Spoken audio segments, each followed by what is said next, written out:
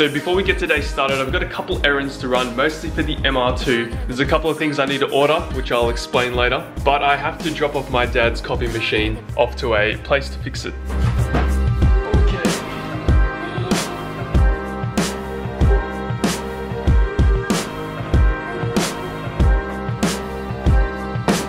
That seems to be in there pretty well. Before we get going, let's get a quick cold start for you guys.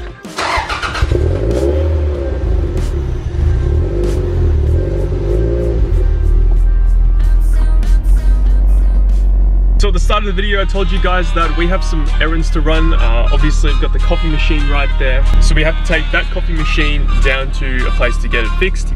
But we also have some things that we're going to be picking up for the MR2. I don't know if I've mentioned this before, but I've been parking the car in my parents' garage for pretty much the whole time that I've owned it, so one year. And they're getting pretty fed up with it. So I've had to buy an alarm so I can park it outside because cars like this do get stolen. This car doesn't have any sort of like alarm system at all. So we're going to be picking up an alarm for the car. Now, also, I'm going to hop outside the car for this.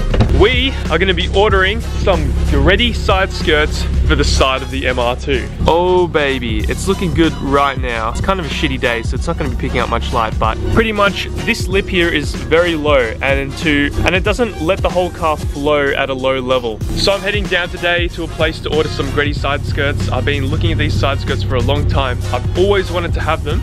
Um, I've finally saved up some money and we're going to be copying that today. But they're not going to come for another three to four weeks. But I'll quickly show you a picture of what the car will hopefully look like when it's uh, completed.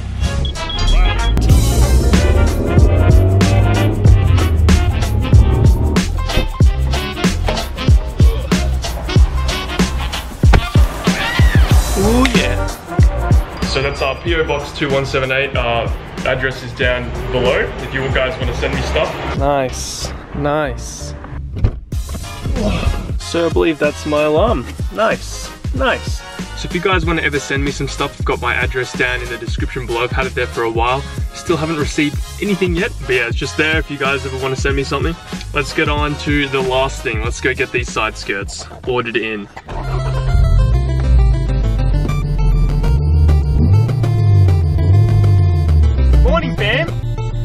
My alarm. Is it? Yep. That's gonna be fun as well. Oh, yes. So I just ordered the side skirts. We're at this place. Uh, it's called DT Panels uh, in Melbourne. And the cars outside are crazy. We've got just an NSX sitting out the front, just behind all those cars. Every single car here is just JDM, modified, crazy. One day, one day.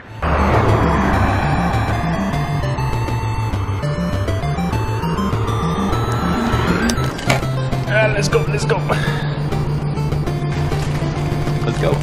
Everything chili. Lachlan and I are gonna get some boba tea, Them gongcha. some gongcha.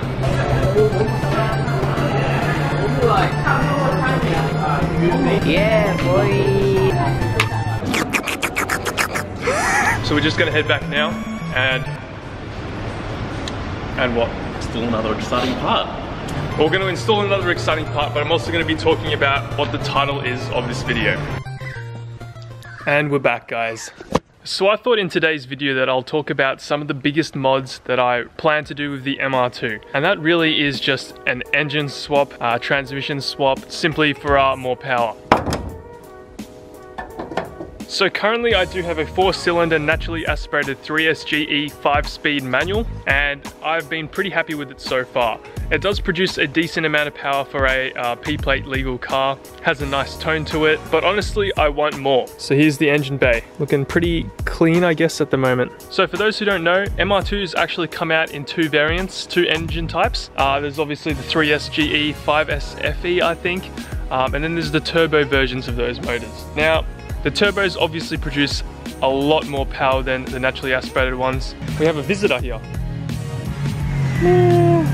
Oh, yo, ham!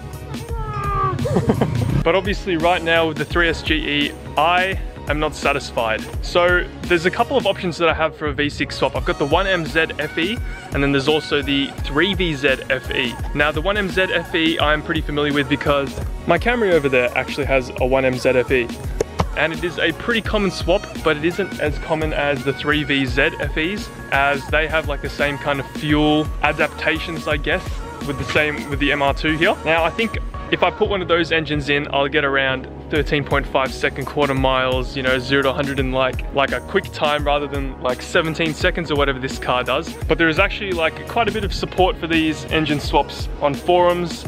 Um, there's even YouTube videos all over online. It is definitely a swap that I want to do. Now the other option is I go turbo, but the thing is, if I do go turbo, it's better off just selling the whole entire car and getting a turbo MR2. I've already done quite a few mods to this car. I've put coilovers, sway bars, shifter modifications, and I feel like it's just gonna be a hassle if I have to sell and get a turbo. The turbo is obviously gonna produce a lot more power, but it won't be as torquey in the low RPMs, which is what I'm looking for. I want that pushback feel, so that's why I've settled on doing a V6 engine swap. I haven't really like fully decided, I guess, Seeing all those videos online, you'll be able to tell that it is a pretty exciting swap.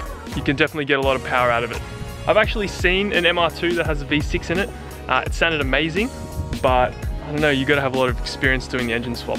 That's one negative to it. Something interesting as well is that there is plenty of space in this small MR2 engine bay. Like you'd think there wouldn't be much space being like such a like small car that's only a two-seater and everything but there is a very big amount of space for a V6 swap. Heaps of room on this side, heaps of clearance on that side, that's just mostly exhaust over there. But yeah, it's definitely a very doable swap. But I think that I talked about before, doing a transmission swap, it's because my transmission currently is leaking. Um, it also has a problem with the drain plug, so the person that previously owned the car, I don't know if it was them or the person before them, but the drain plug and the fuel plug has been completely stripped. So currently it's covered in Silastic, so it doesn't uh, spill everywhere, but it's just a little bit of a hassle because it's slowly dripping and I have to keep getting it topped up and getting that sealant applied again. In the market for actually an S54 gearbox. If anyone knows, if anyone has a S54 gearbox, please let me know. It's looking pretty good right now, Hamza, huh? No. How's your R3? Bro, look at it, fucking broken. We haven't made a video on this on this bike in a while, I huh? haven't done, I've, I haven't even cleaned it. Yeah, remember that muffler delete? Yeah, damn, that's actually like years ago. yeah, actually years ago, right? here's the car right now. It's looking pretty mad. Really liking this like red that I did here. I highly recommend that mod. Just paint that strut bar and front and rear. D2 coils.